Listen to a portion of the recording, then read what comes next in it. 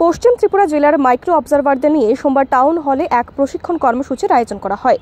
প্রশিক্ষণ কর্মসূচিতে উপস্থিত পশ্চিম জেলার জেলা শাসক দেবপ্রিয় বর্ধন জানান, নির্বাচনে অবজারভারদের দায়িত্ব এবং কর্তব্য সম্পর্কে সঠিক ধারণা দেবার জন্যই এই প্রশিক্ষণ কর্মসূচির আয়োজন করা হয়েছে। অবজারভার যারা আমাদের ডিস্ট্রিক্টে হয়েছে, ওনাদের আজকে ট্রেনিং হয়েছে, প্রথম যে ট্রেনিং সেই ট্রেনিংটা আজকে করা হয়েছে। তো এই ট্রেনিংয়ে আমাদের ডিস্ট্রিক্টে যতজন জেনারেল অবজারভার ডেপুটেড হয়েছেন, ওনারা প্রেজেন্ট ছিলেন, আর তার সাথে পুলিশ অবজারভার স্যারও প্রেজেন্ট ছিলেন।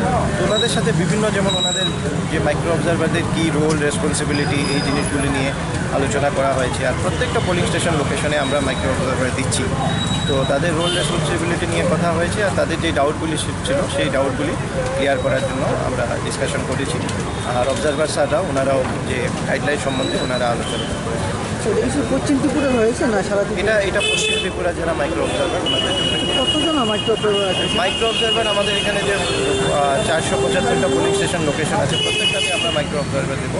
তার বাইরেও আমরা কিছু রিজার্ভ মাইক্রো অবজারভার তো অবশ্যই থাকবে।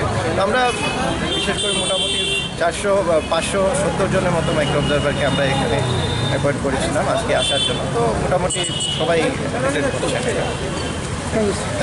নির্বাচনে প্রত্যেক পোলিং বুথে অবজারভাররা উপস্থিত থাকবেন বলে জানান জেলা শাসক। ট্রেনিং প্রোগ্রামে পুলিশ অবজারভাররাও উপস্থিত ছিলেন বলে উল্লেখ করেন জেলা শাসক Debapriya Bardhan.